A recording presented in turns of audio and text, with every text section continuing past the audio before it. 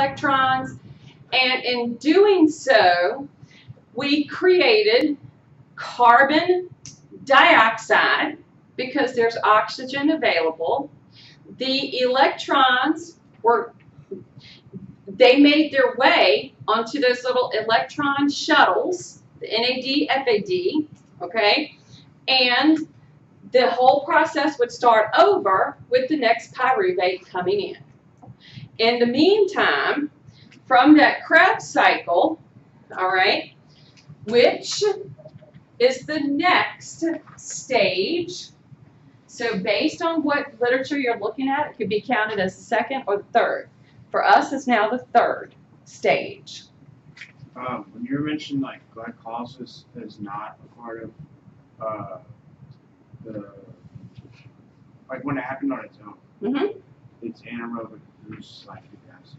Mm-hmm. When it takes part of like s- when it's a part of cellular respiration, where it's like step one, It's- it, it's still produce lactic acid. No, it produces those pyruvates. The pyruvates get to go forward. So if it's If it's just strictly anaerobic fermentation, you get the two ATPs and a lactic acid. When we get to work in the presence of oxygen, meaning we're going to make the way to the mitochondria, the product at the that end product of the two pyruvates from glycolysis will go into the mitochondria.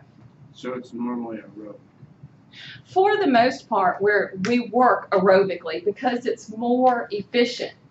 When you are demanding a huge amount of energy from your body at a particular time, like say um, you play sports or you run or you bike or something like that, in the beginning of that process, this is how your body makes energy. It's glycolysis. You're only getting the two um, ATP and you get a lactic acid. That builds up in your skeletal muscle cells and makes them sore. But under normal means, like those as we're sitting here right now, under normal means, we're working aerobically. Meaning, we're going to have the glucose molecule get split. We have the two pyruvates. The pyruvates go into the Krebs cycle, or into the mitochondria, go to the Krebs cycle, and the process gets all those little electrons, go to the electron transport chain, and we produce a huge amount of ATPs. Okay? So, those two pyruvates that made it to the mitochondria, that now will begin to go to the Krebs cycle, which is in the matrix. So think of here, here, here, here, these little areas right here as the matrix.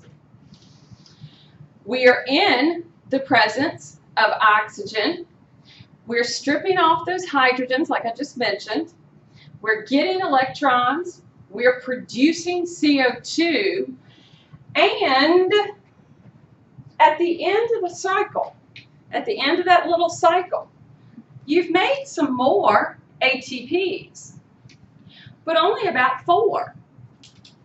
So the amount is still not great. What we did get, we got a ton of our electron carriers, NADs, FADs. And along with that, the H pluses. So, at the end of that Krebs cycle, we have created quite a few electron carriers. We have created quite a few CO2s that now need to be breathed out. And now all of these little electron carriers can make their way to the electron transport chain. So that electron transport chain. And is everybody kind of got this idea in their head? Okay, let's blow up this mitochondria like we would see in a picture.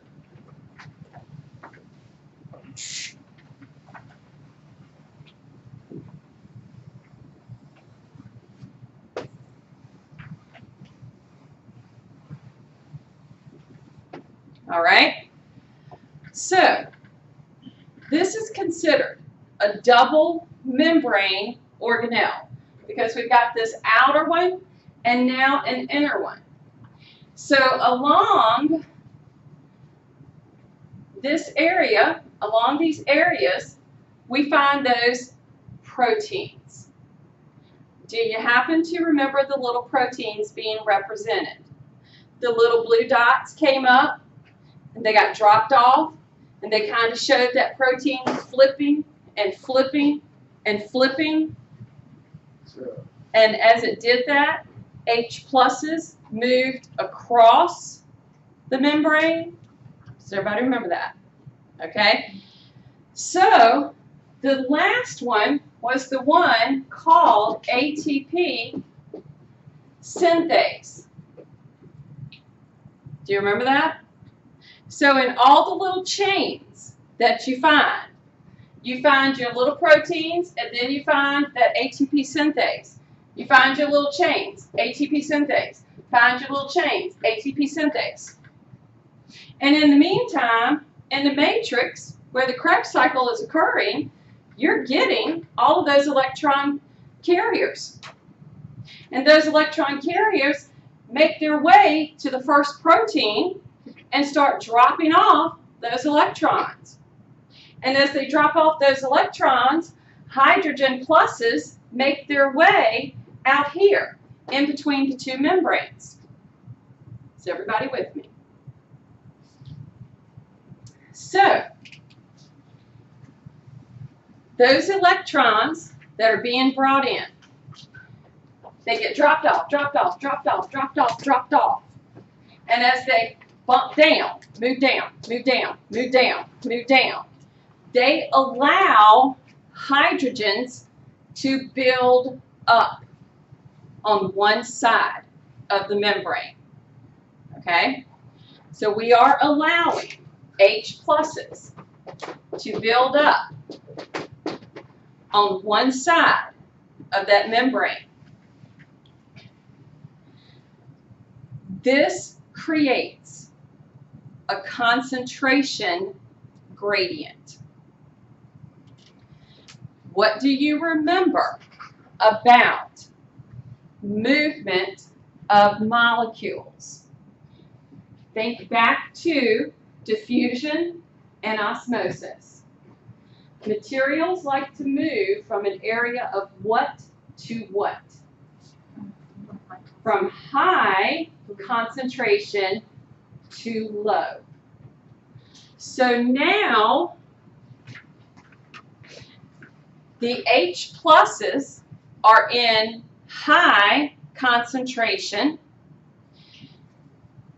The only way they get to balance is by flowing down that ATP synthase. Because this is now a chemical gradient, it's termed chemi osmosis. Osmosis because of movement, chemi because it's chemicals. But the term synthase, what does that mean? it's an enzyme that It is an enzyme that makes something. And it tells us what? ATP. As those H pluses get to move across that protein, that enzyme, when it comes out on the other side, I have now made ATP. Any, and as I bump down the electron transport chain, that electron that finally gets to the last protein, that electron gets accepted by oxygen, which will eventually work with some of the H's and make water, and we get a little CO2. So at the end of that electron transport chain, we have produced the majority of our ATPs, roughly about 30 to 32.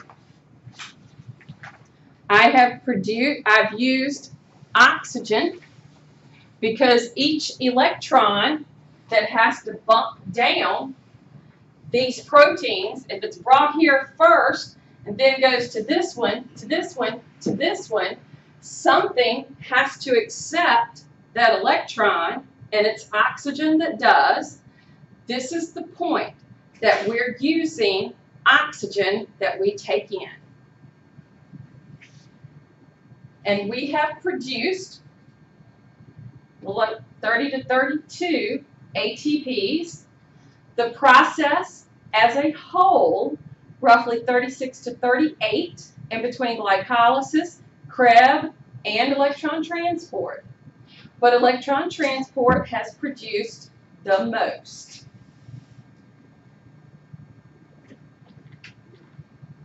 This is kind of representing as that electron is brought in, H pluses move across and build up that gradient. The only way for those H pluses to move back across and balance is through synthase. The cells of your body are doing this 24 7. Every single chemical reaction, which is metabolism, if you guys remember that, okay? The cells need this. They have to have this. Anything that is going to deprive a cell of oxygen, this process is going to stop. It will eventually cause death to that cell, and unless the process is reversed, the organism dies.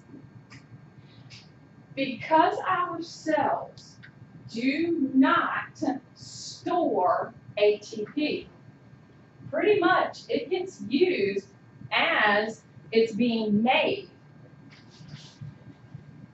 This is the reason that with this process occurring, um, this is the reason that upon death, okay, rigor mortis sets in. Okay? Rigor mortis sets in about 8 to 12 hours after the time of death because that's the point that all oxygen available in the body and the production of ATP has completely stopped. So at whatever point that body, whatever position, okay, that it stops in, this is the reason things happen after the time of death. And like people move. Okay? Literally before true funeral homes and, and stuff like that, um, it, it, people called it sitting up with the dead. Okay? Because the rigor mortis had sat in, and a lot of times when that process completely ended, usually whatever happened to, to the way that, that they had laid the body out, a lot of times that, that body did this number. Okay? So it, it's it's the reason that bones might have to be broken to get them into the, the, the casket and stuff like that. Because it's at the point all ATP has stopped in the body. That takes about 8 to 12 hours after the time